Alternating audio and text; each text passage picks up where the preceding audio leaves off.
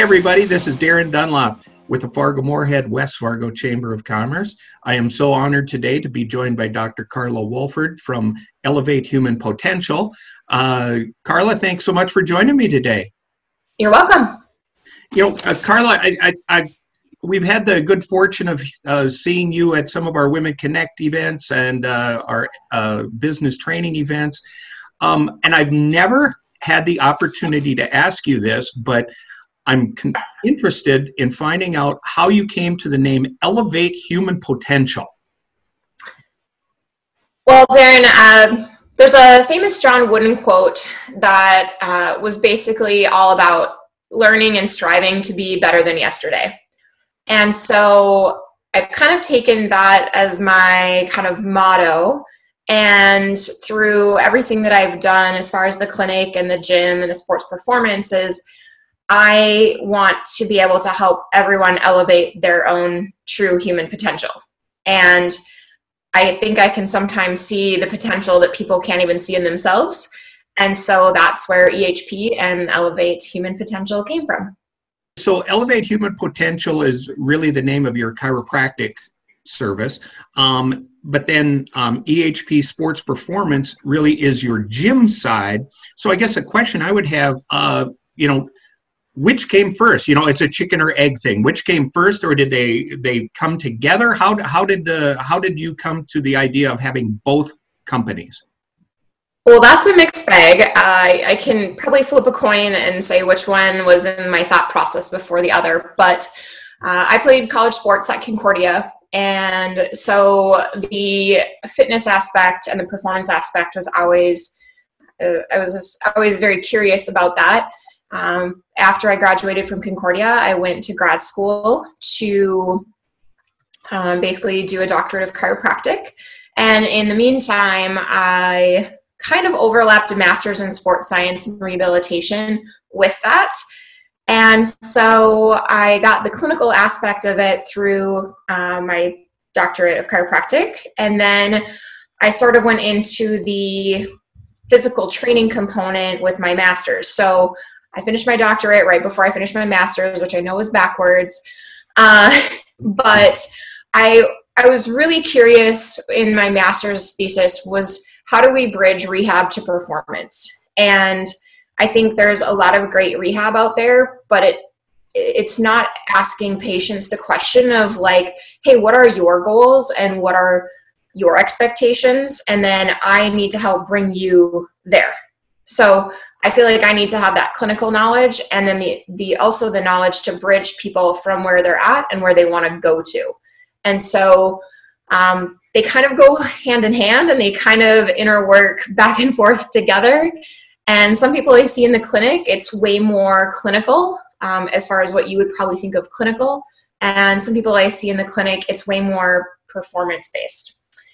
Um, and but when I ended up moving back to the Fargo Moorhead area almost six years ago now, I had kind of decided that there wasn't something already here for what I had envisioned. Like I couldn't just go apply for a job somewhere, I had to create it. And so that's where the clinic and the performance, which we have a bunch of things under EHP. So, EHP is a CrossFit. We offer classes that are called Elevate. We go into local high schools, do all their strength and conditioning. We offer teens programs, kids programs, adaptive programs. And so it's really all about elevating true human potential kind of from many aspects well thank you coach thank you coach wooden for uh, for for the inspiration behind that well carla uh, you know it i found it very interesting so not only uh, are you doing so you've got your chiropractic practice, you have your uh, your sports performance gym, but also you're on the uh, medical support staff for USAV beach volleyball and USA weightlifting.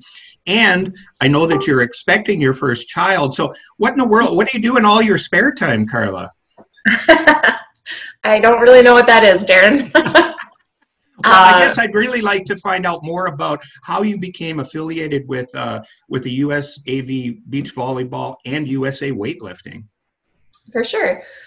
So we had a unique opportunity where I was in grad school in California to work tons of sporting events and i was on our sports council as an event coordinator and then as a vice president so i got to set up all of these sporting events all over whether it be a rowing regatta mountain biking beach volleyball a marathon whatever. So we would um, work with all the athletes at the events to we were anything from main medical tent to just musculoskeletal injuries. So we got a wide variety of experiences with many sports.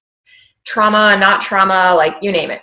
Um, on a national level, I was asked to apply for the USA uh, track and field Olympic trials. And as a young duck, and they only take a couple. And so I applied and I got in, and I was super excited. And there's something called travel to treat laws in chiropractic. And the person who was organizing it thought I had an Iowa license and they were in Iowa that year, but I did not have an Iowa license. I had a Minnesota license. So unfortunately, I got a phone call saying I couldn't work it because they didn't realize that I wasn't licensed there. Um, so after I was bummed, I talked with a mentor and he said, Well, I have an AVP beach volleyball tournament down in Florida. There's open travel to treat. So do you want to come down and help me out? And so I said, Yeah, I'll be there. And so I started with the AVP, which is the Association of Volleyball Professionals, which is a national organization in the United States. And through the years of that, I went on to being event coordinators for that and kind of wound my way into the national or international level when I would just work on athletes doing what I do. And some of them that were Olympians asked for me to come jump on board with their kind of main staff and travel with them internationally and i know they they appreciate having both male and female providers and having a female provider that is willing to travel internationally 6 to 12 weeks out of the year is is tough and so i fit that criteria and uh, i've been doing that for the last 11 years actually and uh, USA Weightlifting kind of fell into place after that. I haven't spent nearly as much time with them. I've enjoyed my time with them. But I'd say uh, my heart and soul rest with the beach volleyball just because I feel like I've grown up with them. well, I can't even imagine the stories that you could share about uh, about beach volleyball, and and I and I watch it because it's so entertaining. But I don't understand how anybody can have that much stamina, and it's some of those matches go on and on and on, and I've tried beach volleyball. About uh, about 35 seconds is about the extent of my uh, my my exertion level, and it, so these these these athletes have to be so incredibly conditioned. Um, so I, uh, kudos to you for that. Um, Carla, one of the things that I did want to touch base with you on, and when we when we visited, you you really pointed out that you're a very curious person by nature um, and that you always want to be learning. And uh, you said that you've actually recently kind of jumped into some uh, some new um, training techniques and some new uh, treatment techniques. And i was hoping that you maybe you could uh, could share that with our viewers today. Yeah, so I've always been curious about learning, and I think I would be a full time student all the time if I got paid to do that and I didn't have to take out so many loans. I love to just know what the next research is and the human body is changing like not that the human body is changing the knowledge of what we have of the human body is changing all the time and that's why they call it a practice um, whether it's medical chiropractic because once we think we know something if you're set on that that is the way it's already probably been that research is probably old and there's probably new research. So, one of the reasons I really like working with professional athletes uh, isn't the fame. Like, I don't really have any fame for uh, beach volleyball. It's it's known to be every four years, I guess. But those athletes really challenge me to learn and grow and be better in what I do. And I think it's because they're so in tune with their bodies. They're like this very well oiled machine, and they can tell me exactly at what point during their arm swing or at what point, you know, when they're reaching for a ball that their knee like is bugging them. And they, they can tweak it down, and I have to be so accurate and so precise. And so I think they have challenged me in a really good way, which is why I think I love doing that. Um, to learn and grow and figure things out on a different level. And then I can take that back to my practice here. And I just help my patients so much more because I've been challenged in those ways. So I recently became a chiropractic acupuncturist, which means I can approach um, a patient and I can treat from Eastern or Western medical standpoint. So, yes, they can do dry needling and all of those things that um, also come with the acupuncture. Uh, as far as um, I treat more pain, musculoskeletal injuries with the acupuncture. Acupuncture is a very, very broad world, and there are many things I don't treat with acupuncture, but that's one of the most recent things. Uh, it, it kind of blows my mind that I'm able to use four needles in 15 minutes and accomplish what it used to take me an hour to do with my hands. So, trying to find ways to better suit patients for what they need is always high on my list of how can I better help serve people and and there will be times I'll go through a certification or I'll go through some learning and I'll think back to a patient and I will literally send them a message saying, Hey, I just learned something. I didn't know it when I saw you X amount of months ago. Um, and I'll have oftentimes patients will come back in because they're curious about um, what I've learned and how it can be applied to their particular case. Hmm. Carla, I know that you are, uh, you know, you are also an athlete and I was curious if um, if being an athlete is a benefit to you when you're treating well not only professional athletes but uh, your, your, general uh, your general clientele. I might be biased, but I think so. I definitely am one of the proponents of if you're going to talk the talk, you better walk the walk. And I'm not saying that every person that treats a professional athlete needs to be a professional athlete. Um, however, I did do a research, a preliminary research study two summers ago uh, that was about how emotional intelligence plays a role uh, in providers' um, outcomes with professional versus non professional athletes. And I found out a lot of really unique things.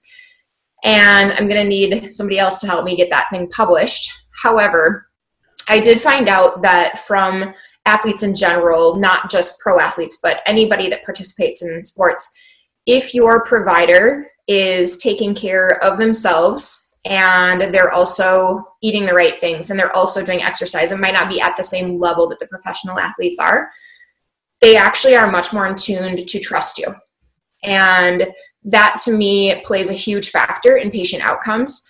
So for me, being able to be active and live a healthy lifestyle is huge. Um, not to mention, I've also gone through a lot of personal injuries, so I've had a lot of personal experience from these things, which I think helps me to relate and communicate with athletes who are going through injuries, whether that be from a physical standpoint, also an emotional standpoint, and then being able to work with them, especially like say they're a high school athlete, like how do I how do I stay with my team and how do I mentally stay in it if I know I can't compete for the next month or two? And so I think a lot of those experiences have helped me work with that population a little bit better. You know, Carla, it was it's interesting because uh, when we were visiting, um, you talked about that people refer constantly to you.